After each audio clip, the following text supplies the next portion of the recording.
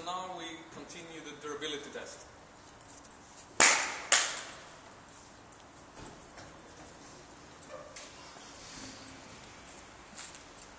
So still running.